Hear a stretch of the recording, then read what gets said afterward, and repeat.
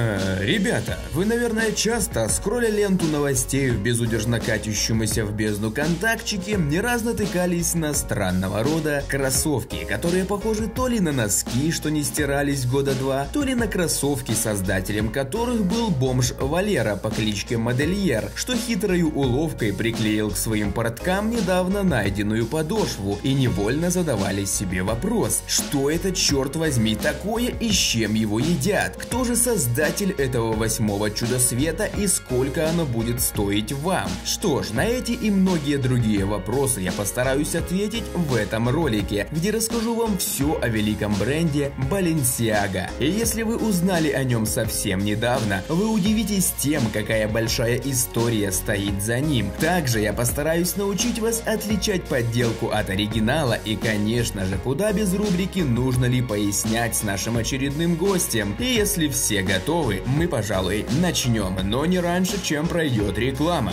Такова жизнь, ребята, реклама – двигатель прогресса. Осень, дождь, холод, ну его эти прогулки. Завари-ка лучше чаю, ватрушечку возьми и го катать в новую ММО-РПГ БСФГ, которая откроется уже 20 октября. Вы только взгляните на это.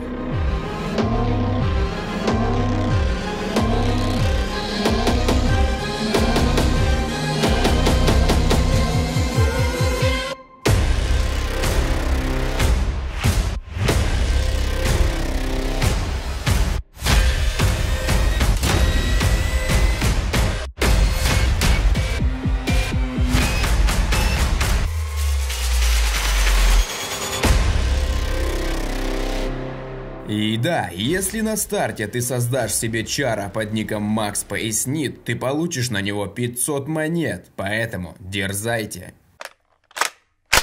История всего бренда относит нас в маленькое испанское поселение под названием Гетария. Ведь именно в нем 21 января 1895 года родился и жил Кристобаль Баленсиага. Его отец Хосе был рыбаком, а мать Мартина работала швеей. И что вы думаете, кому из них Кристобаль помогал? Думаете отцу? Ведь парень он пусть морем дух свой закаляет. Но нет, Кристобаль выбрал путь иной. Он с самого детства учился шить одежду, а поскольку среди клиентов его матери были довольно состоятельные дамы, то зачастую они приходили в самых роскошных платьях, от которых Кристобаль не мог оторвать взгляд. Он как будто бы сканировал каждую деталь, дабы научиться делать в разы лучше. И вот однажды к матери пришла очередная знатная особа по имени Маркиза де Каса Торрес, платье на которой сидело так нелепо, что маленький маленький 13-летний Кристобаль молчать не смог. Он подошел и промолвил.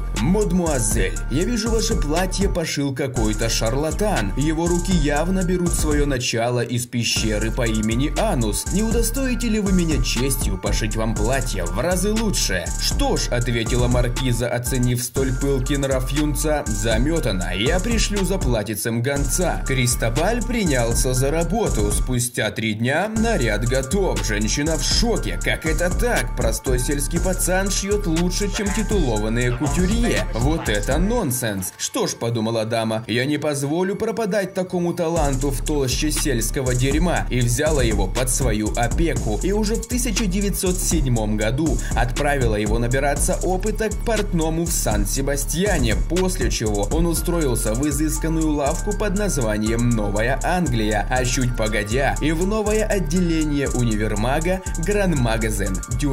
Работая во всех этих местах, Кристобаль набрался столько опыта, что уже в 1918 году он открывает свой собственный салон под названием Кристобаль Баленсиага. А спустя еще 6 лет и свой модный дом с отделениями в Мадриде и Барселоне. Кристобаль открыл в себе свой талант. Он добился огромных успехов и к 21 году он одевал саму испанскую королеву, а всем известная Коко Шанель сказала о нем следующее. Он единственный кутюрье в прямом смысле этого слова. Все остальные просто дизайнеры. Этот человек был поистине легендарен. Его работы называли произведениями искусства, а его влияние на мир моды, как сказала Лаура Маливи, невозможно измерить. Салон Баленсиага был даже упомянут в литературном произведении Ремарка «Жизнь взаймы». Надеюсь, считали. Если нет, то исправьте это, оно того, поверьте, стоит. Так вот, в одном из эпизодов книги описывается, как героиня романа приходит в бутик и покупает там 5 шикарных нарядов, истратив на них все свои сбережения. То есть вы понимаете, насколько шикарные вещи делал этот человек. До такой степени, что люди были готовы отдать все до копейки, лишь бы это получить. Все это продолжалось вплоть до 1960 года, когда высокая мода начала уступать машинному производству и уже готовой одежде.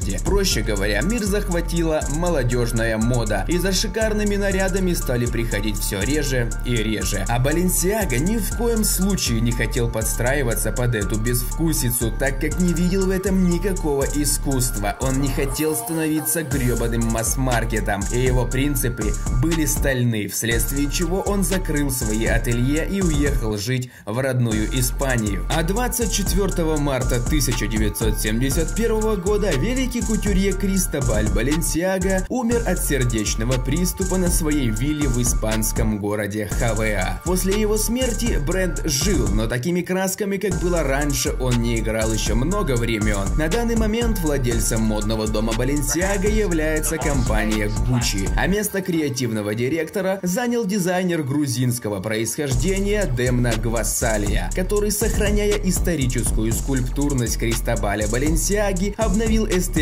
бренда в целом, привнеся в нее часть собственной марки Ветмо. Вот и все, ребята. Такой была история всего великого бренда. Да и рассказал я вам лишь десятую часть всего, что с ним происходило. Мы лишь пробежались по верхушке айсберга, но если есть те, кто хочет узнать больше, я оставлю в описании ссылку на целую статью. И если будет желание, вы всегда сможете со всем ознакомиться намного подробнее. Я вас уверяю, оно того стоит. У этого человека есть чему поучиться, и если вы не амеба и хотите чего-то в этой жизни достичь, он станет вашим кумиром. Поверьте, сын швеи и рыбака, который был вынужден работать с 12 лет, а в 23 открыл собственное ателье, не может не заинтересовать. Ну а мы, собственно, двигаемся дальше. Встречайте нашего гостя.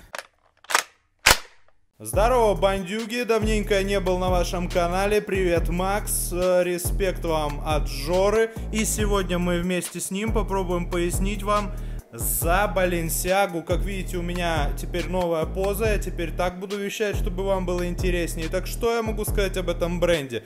Я думаю, о его истории вы уже услышали чуть-чуть ранее, но я хочу рассказать об опыте эксплуатации непосредственно одних из педалей этого бренда. А по классификации лично моей этот уровень уже ближе к верхушкам, где Louis Vuitton, Dior и Prada. А, потому что качество у Balenciaga всегда на высшем уровне. Это не Маскина и прочая какая-нибудь хуйня такая, типа блатная, но не совсем. Эти кеды я носил очень давно. Вот здесь вот будет фотка на, чтобы вы поняли, что это за кеды. Они просто, блядь, как монолитные кирпичи, их убить практически невозможно. Это одни из лучших точно кет, они по уровню четко соответствуют уровню Луи Виттона, Шанели, Прада и, как я уже говорил, всем крутым, реально самым крутым брендом, потому что качество исполнения просто восхитительно. Да, они стоят дохуя, их носил Kanye West раньше, они были раньше модные, сейчас они уже не такие модные, но это такие классические высокие сникеры, как их там называют, хай-топы или что, я не знаю. В общем, по качеству вообще идеально, очень-очень круто. Стоит ли за них пояснять?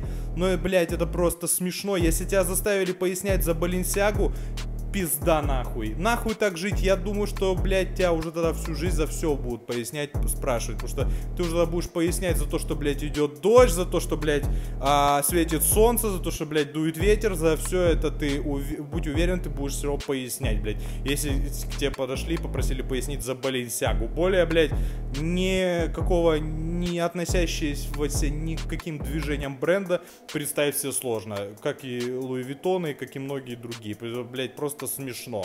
А, поэтому я не думаю, что у тебя возникнут проблемы с пояснением за Баленсиагу. Всем пока. Я думаю, я вам ответил на все интересующие вопросы. Ну а теперь, юнцы, я научу вас отличать оригинал от подделки на примере, наверное, самой ныне хайповой паре кроссовок Speed Trainer стоимостью 690 евро. В переводе на русский рубль 50 тысяч, а на старобелорусских это 16 миллионов рублей. Недурно скажете вы за пару кроссовок, но что поделать, красота требует жертв, а жертвы не должны быть напрасны. Именно поэтому сейчас мы научимся покупать оригинальные тапки коробки. Итак, начнем с коробки. Вот так выглядит оригинал. Так выглядит фейк. Запомнили? Уяснили? Едем дальше. Смотрим на маркировочную наклейку. Вот оригинал, вот фейк. Ура! Приступим и к кроссовкам, пожалуй. Итак, надпись Balenciaga должна быть нанесена примерно на 1 сантиметр выше подошвы и располагаться ровно между двумя полосками на подошве, вот этой и вот этой. У фейка же она либо прям у подошвы, либо расположена у черта на куличках. Также зачастую она изогнута как дуга. Ну и напоследок давайте достанем стельку. В оригинале она вот такая, а в подделке будто бы расстреляна из картечи и выглядит как-то стрёмно, скажем так. Также в комплект оригинальной пары будет входить тканевый мешок для хранения кроссовок, когда в подделке будет одна лишь туалетная бумага. На этом все. Спасибо за просмотр. Я буду очень рад, если вы поставите этому ролику лайк и сделаете репост к себе на страницу из моей группы. За это я рандомно выберу 5 человек и распишусь у них на стене. И еще, ребята, одна просьба чисто по-братски. Кликните по колокольчику, дабы не пропускать мои ролики, так как YouTube нынче болеет и не всегда показывает вам новые видосики. А в общем и все. Всех люблю, всех целую.